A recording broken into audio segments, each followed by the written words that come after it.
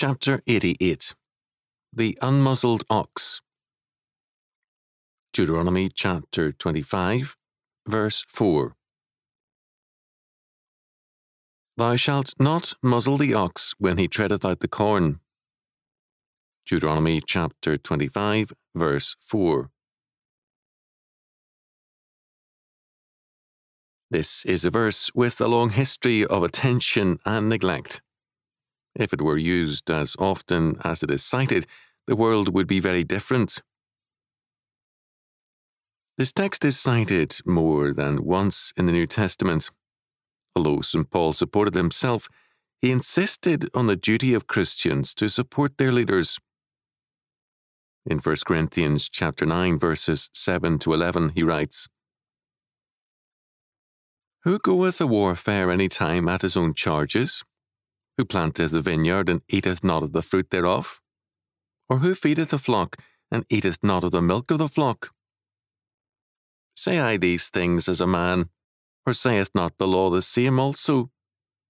For it is written in the law of Moses, Thou shalt not muzzle the mouth of the ox that treadeth out the corn. Doth God take care for oxen? Or saith he it altogether for our sakes? For our sakes, no doubt, this is written, that he that plougheth should plough in hope, and that he that thresheth in hope should be partaker of his hope. If we have sown unto you spiritual things, is it a great thing if we shall reap your carnal things? Paul declares that a soldier must be paid, a farmer or a rancher gain a living from his work. God's law requires that an ox threshing corn is entitled to have some corn. The point of this law is that, as creatures, we are dependent upon our work for our sustenance. As a result, those who work as ministers of the Word of God are entitled to be paid for their work. If the law of Deuteronomy chapter 25, verse 4, validates the duty to feed the ox, how much more does it not vindicate the paying of God's servants? Paul again discusses this law in 1 Timothy chapter 5 verses 17 and 18.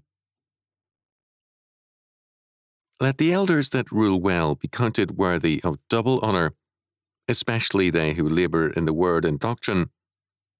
For the Scripture saith, Thou shalt not muzzle the ox that treadeth out the corn, and the labourer is worthy of his reward. Paul, in the final sentence, was quoting our Lord's application of this law in his charge to the disciples. Provide neither gold nor silver nor brass in your purses, nor scrip for your journey, neither two coats, neither shoes, nor yet staves, for the workman is worthy of his meat. Matthew chapter 10, verses 9 and 10. The word translated as scrip in verse 10 refers to a leather pouch for carrying food. In other words, our Lord requires those ministered to that they fully support the ministers. When Paul speaks of those who minister well, that they receive double honour, the Greek word translated as honour means both pay and honour. Thus, double pay is required.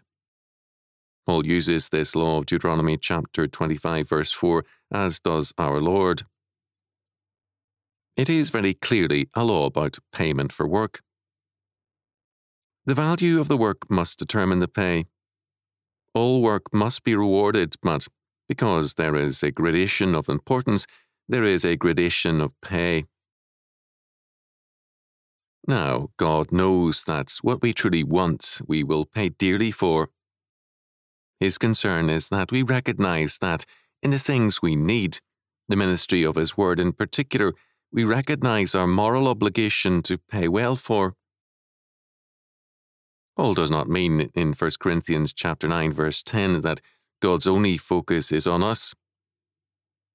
Deuteronomy chapter 22 verses 6 and 7 make clear his protection of even birds. Rather, the point is that God's law here requires us, above all else, to see our duty to our fellow men. We have an aspect of this law in Proverbs chapter 12, verse 10.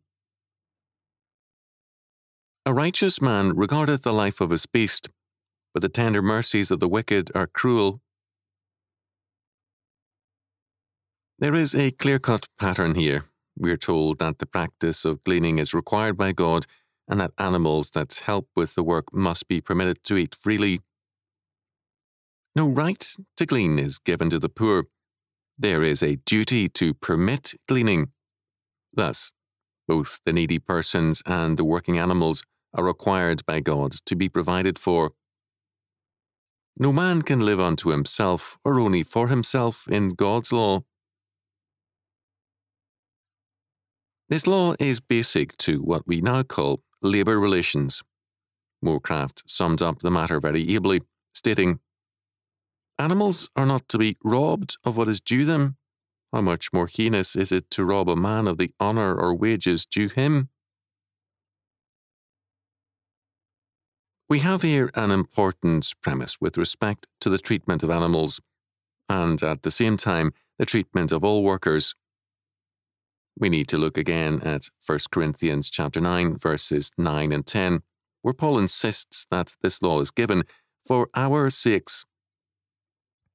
The meaning is that, important as the fair treatment of animals and people certainly is, obedience to God is more important for the sake of our growth in the faith and our growth in obedience, God requires that we be mindful of the ox and of all animals. His laws are for our sakes, in order that we may live a happier and more blessed life. A few people have used this text to say that the worker should share in the profits. Nothing of the sort is even implied. We are simply commanded to be just in the recompense of both animals and men. Thomas Scott's observation on this text is noteworthy.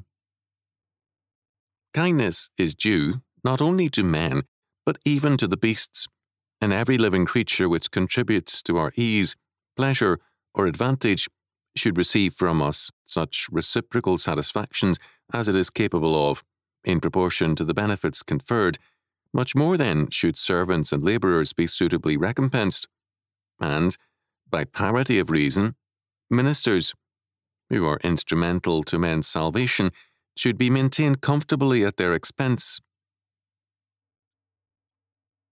What Scott is affirming is a harmony of interests under God of men and of men and their domestic animals. This harmony is a moral harmony whose premise is God's total and providential government. The direction of humanistic thinking is to stress a radical conflict of interests. Darwinism has done much to promote this belief in conflict because it is a presupposition of the idea of natural selection and the struggle for survival. The influence of the evolutionary ideology has been anti capitalistic because of this stress on conflict. We have, as a result, racial, economic, and political conflicts all over the world. Freedom has receded in the 20th century because of these conflicts. In an evolutionary universe, there is only struggle and conflict. Truth is tentative and the development of man may render each day's truth irrelevant in the days to come. We live in a world of conflicts, not under God's harmony, according to this perspective. Our legal systems have echoes of this and other laws, but they are all steadily eroding. We are moving into a culture of the muzzled ox and the muzzled man. Freedom is associated by the modern mind with license, not morality, and the desire for freedom has come to mean the desire to sin. We have thinkers who claim to be Christian who insist on seeing God and Christ as process in terms of Darwinian thinking. In such thinking, the trinity of orthodox faith is gone, and so too is God's law what we have instead is a cosmic process. Is it any wonder that the followers of such thinking have been the pioneers of our present lawlessness? No God, no law, no truth, no true morality. The wasteland surrounds us. The unmuzzled ox is a reminder of God's order and harmony